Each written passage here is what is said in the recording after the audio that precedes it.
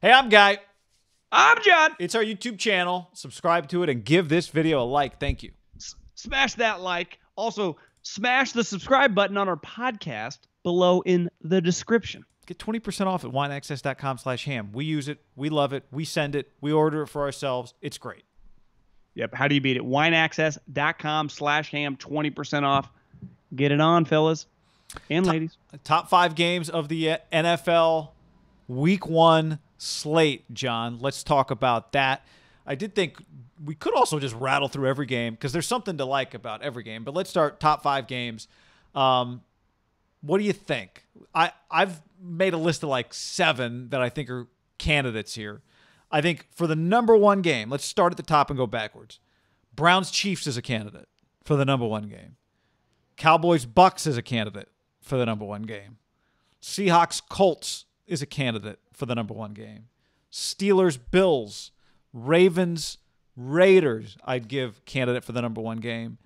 Um, now there are some other games you could make a case for, but to me those are the those are the real candidates for the number one game. Do you see anybody I'm missing at number one? I, I feel like that's the group of the top five. I would say the one curveball Sunday night football, if Justin Fields is making his debut against the Rams, like that's that game might end up not playing great, but going in, I think the hype would be pretty strong. Like he's a pretty powerful name. Like that's a big deal. Ohio it, State, like a, that thing would do a it's gonna do a big number anyway. But Justin Fields makes his debut Sunday night football against one of the best teams in the league, Matt Stafford too. In LA. That's, that's right, the sweet. Stafford element. So are you giving that number one? It's so so you make no, a good case because for why I, I'd it's say top it's five. probably 50-50 He's going to be the star. I, I I think you nailed the group. Um, I, I, I you know, I, would probably just at number one lead Cowboys. Bucks is pretty damn good. You know, given yeah. the power of the Cowboys, Dak coming off the big contract, Tom Brady defending. The, both teams have a ton of star power. Like part of it to me is just, and that's where the Browns Chiefs just a ton of famous players. Like Odell's just back in the. You're just gonna be like, whoa, a lot happening. I gotta go number one with you. I go Bucks, uh, Cowboys. I would submit with you. Uh, so it sounds like you agree. Browns, Chiefs is number two. You could you could make a running Russell Wilson, Carson Wentz because I think the Colts are gonna be pretty damn good. Uh, I, am a sucker for just a you know Pittman Jr., Jonathan Taylor. I just like their squad. Mm-hmm. Seattle's just, I mean, they they consistently play just entertaining well, games. if you told me this ended up the best game of the day or the week, that wouldn't surprise anybody. I'm with you. There's something to be said. The Stafford element, Carson, new quarterback in a new uniform. That's that's pretty intriguing. You know what? I'm with you. I'm gonna go Seahawks, Colts over Browns, Chiefs. I'll go Browns, Chiefs three. Seahawks, Colts okay. too. I, NFC I and big big NFC uh, bias here. Three of the four teams we mentioned, they're NFC teams. Seahawks, Seahawks, Colts, a great game. Um, hell, Seahawks, Eagles has been Seahawks and Carson's been good before. Okay, number four. Bill Steelers. You know, Bear, is that where so, Bears Rams ends up if it's Fields? Yeah, I think those are in the mix. I I, I think he, the Raiders, Lamar Jackson, Monday Night Football, because I'm I'm factoring in the time of your game right? To me, Monday Night Football, that's like if you gave me Bears Rams 10 a.m. kickoff in Chicago, like not as interesting. Sunday Night Football, that's a pretty big deal. That's where I lean Raiders Ravens. Just Jon Gruden Monday Night Football, like he's when when you see the you know the two poster guys, I mean it will be Derek versus Lamar, but it's really Gruden versus the Ravens, Lamar and, and Harbaugh. Like is he just going to get smoked on Monday Night Football? Because the Ravens are better. Guy like Lamar runs circles just around d- their defense the last decade. Are they better? Gus Bradley there. Now you could make the push.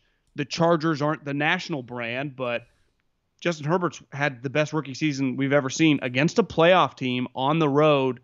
You text me this morning like it is his first real you know, away game with fans. Yeah. That's that that place is gonna be rocking. Do you I want to be here for Monday Night Football, by the way? I would. You want to go in the in the suite? Get a suite. Uh, yeah, look. Want me to text Badane see if he can get us some tickets? we could we could ask around. Yeah, you've got some. Maybe Papa knows somebody. Um, yeah. Now I, I love to me the Herbert Washington thing is a big deal, but I can't. That game's not top five. I agree. I, that was that was you know selfish there. Ravens Raiders. I think you make the case they should be ahead of uh, Bears Rams just because you don't know on Fields, but I think you could argue even if you don't know on Fields, the Rams with Stafford belongs in the top five. Um, so you know, I also think Tua's Tua this Tua's first start at New England. I mean, is is uh, Aaron Rodgers on the Broncos for this Giants game, or is Aaron Rodgers on the Packers at the Saints? Like that's interesting. We, the, almost every game has something good, but um, I'm with you on Ravens Raiders belonging, but I also think Bill Steelers belong. So the question is, we're kind of picking two spots for Rams Bears, Ravens Raiders, Bill Steelers to round out. Wait, is that six teams? Anyway, they have yeah. six. I mean, So, I, yeah, two I- spots you- for those you- three games. You would probably have to throw Bill Steelers. Those were two playoff teams. I know technically the Bears were, but they were an eight and eight playoff team, right? I mean, the Bills and Steelers were legit 11, 12, 13, like you know, high win teams. The Steelers won the both teams won their divisions. I, I think the Bills are just.